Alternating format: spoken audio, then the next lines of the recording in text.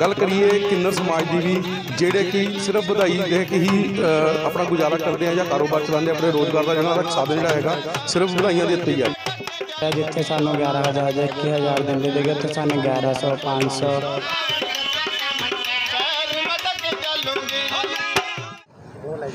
ਫੈਕ news ਦੇਖ ਰਹੇ ਸਾਰੇ ਦਰਸ਼ਕਾਂ ਦਾ ਸਵਾਗਤ ਹੈ। ਗੱਲ ਕਰੀਏ ਪਿਛਲੇ ਡੇਢ ਦੋ ਸਾਲ ਤੋਂ ਜਿਹੜੀ ਕਰੋਨਾ ਮਹਾਮਾਰੀ ਚੱਲੀ ਹੈ, ਉਸ ਨੂੰ ਲੈ ਕੇ ਲੋਕਾਂ ਦੀ ਆਰਥਿਕ ਸਥਿਤੀ ਜਿਹੜੀ ਹੈਗੀ ਆ ਕਾਫੀ ਡਾਵਾਂਡੋਲ ਹੋਈ ਹੈ। ਲੋਕਾਂ ਦੇ ਕਾਰੋਬਾਰ ਬਿਲਕੁਲ ਖਤਮ ਹੋਏ ਆ ਗੱਲ ਕਰੀਏ ਕਿੰਨਰ ਸਮਾਜ ਦੀ ਵੀ, ਜਿਹੜੇ ਕਿ ਸਿਰਫ ਵਧਾਈ ਦੇ ਕੇ ਹੀ ਆਪਣਾ ਗੁਜ਼ਾਰਾ ਕਰਦੇ ਆ ਜਾਂ ਕਾਰੋਬਾਰ ਚਲਾਉਂਦੇ ਆਪਣੇ ਰੋਜ਼ਗਾਰ ਦਾ ਜਿਹਨਾਂ ਦਾ ਸਾਧਨ ਜਿਹੜਾ ਹੈਗਾ, ਸਿਰਫ ਵਧਾਈਆਂ ਦੇ ਉੱਤੇ ਹੀ ਹੈ।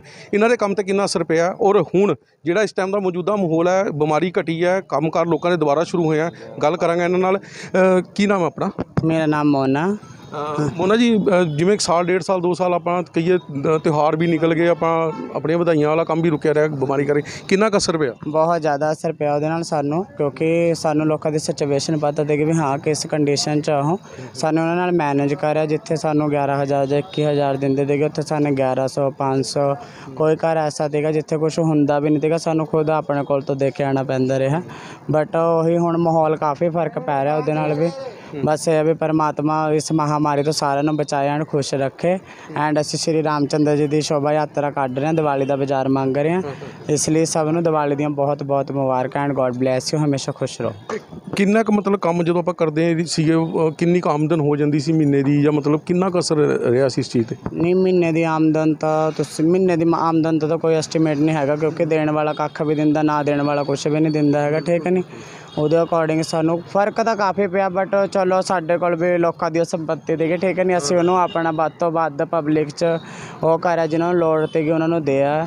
ਬਟ ਇਹ ਹੈ ਵੀ ਕਾਫੀ ਫਰਕ ਹੈ ਮਾਹੌਲ 'ਚ ਅ, ਲੋਕਾਂ ਨੂੰ ਵਧਾਈ ਦਿੰਦੇ ਹੋ ਲੋਕਾਂ ਨੂੰ ਆਸ਼ੀਰਵਾਦ ਦਿੰਦੇ ਹੋ ਲੋਕ ਤੁਹਾਡੇ ਕੋਲ ਸਪੈਸ਼ਲ ਆਸ਼ੀਰਵਾਦ ਵੀ ਲੈਣ ਆਉਂਦੇ ਆ ਕਿ- ਕਿਉਂਕਿ ਤੁਹਾਡੇ ਆਸ਼ੀਰਵਾਦ ਦੀ ਬੜੀ ਮਾਨਤਾ ਮੰਨੀ ਗਈ ਹੈ ਕਿ ਜਿਨ੍ਹਾਂ ਨੂੰ ਜਿਹਦੇ ਸਿਰ ਤੇ ਤੁਸੀਂ ਹੱਥ ਰੱਖ ਲੈਂਦੇ ਹੋ ਕਿਵੇਂ ਦੇਖਦੇ ਹੋ ਵੀ ਬਿਮਾਰੀ ਹੁਣ ਖਤਮ ਹੋਈ ਹੈ ਅੱਗੇ ਕਿਵੇਂ ਕੀ ਕਹਿਣਾ ਚਾਹੋਗੇ ਲੋਕਾਂ ਨੂੰ हाँ जी सत श्रीकाल जय माता दी मैं बोल रही हूँ जोया से जोया हाँ जी महामारी के चलते हुए ਅਸੀਂ हमारे पर बहुत सिचुएशन आई हमने लोगों की मदद की बट जो सानू लोग देते थे ਅਸੀਂ भी रखते थे कुड़ियों की शादी कराते थे बाहर जाते हैं हमारा पैसा हम कुड़ियों की शादी कराते हैं गरीबों की ਅਸੀਂ कोई ग्यारह देता वो पाँच दे रहा था लेकिन हमने सबकी सिचुएशन समझी है तो इसलिए क्या नाम है इसका हम दिवाली चल रही है सबको पहली तरफ से हैप्पी दिवाली इसी दिवाली का हम इनाम ले रहे हैं सबसे ਬਸ ਇਹੀ ਹੈ ਜੀ। ਉਹ ਦੁਆਵਾਂ ਦੇ ਰਹੇ ਹੋ ਵੀ ਲੋਕਾਂ ਦੇ ਕੰਮਕਾਰ ਇੱਕ ਵਾਰ ਫੇਰ ਚੱਲਣ। ਬਸ ਦੀਆਂ ਬਰਕਤ ਹੋਏ ਉਹਨਾਂ ਦੀ ਆਮਦਨ ਹੋਏ ਕਿਉਂਕਿ ਸਾਡਾ ਵੀ ਗੁਜ਼ਾਰਾ ਉਹਨਾਂ ਦੀ ਆਮਦਨ ਨਾਲ ਚੱਲਦਾ ਤੁਹਾਨੂੰ ਪਤਾ। ਦਾਤਾ ਜਜਮਾਨ ਨੇ ਜੀ। ਉਹੀ ਸਾਨੂੰ ਖਾਣ ਨੂੰ ਦਿੰਦੇ ਨੇ ਹੈ ਨਾ?